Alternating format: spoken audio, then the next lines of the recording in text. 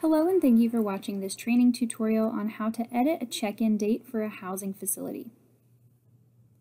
Let's take a look at how to edit the check-in date from the housing workspace. First, I'll click on my workspace button to navigate to my housing workspace. Next, I'll select the facility where I know the client is checked in. From this facility view, I can see a list of residents here in the top corner, and I can hover over the resident to see their check-in dates. I can right-click and choose Check-in from here to edit this check-in. Perhaps I need to change this date. I'll make sure that the rest of the required fields have been entered, and then click Save.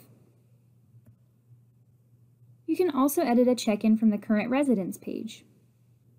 In the menu on the left, under the Housing tab, we'll click Current Residents.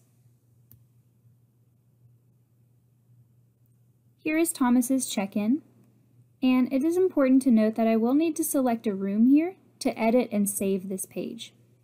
So I will select the room that I know he has already checked into.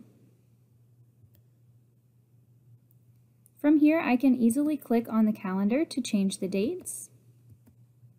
And perhaps I want to remove this checkout date. The system automatically populated the checkout date because he had a bed reservation. But if we know that Thomas will be staying here indefinitely, we can remove that checkout date. Then click Save. I can also choose the action arrow next to this check-in and do Edit Check-in for a more detailed look at the check-in record. If I need to make any other changes on this page, I can. Of course, click Save to save any changes, and then confirm that you can see them here and in the facility view if you've made any changes to rooms or units. And that will conclude our tutorial on editing check-in dates. Thank you for watching and for doing your part to help us end homelessness in Dallas and Collin counties.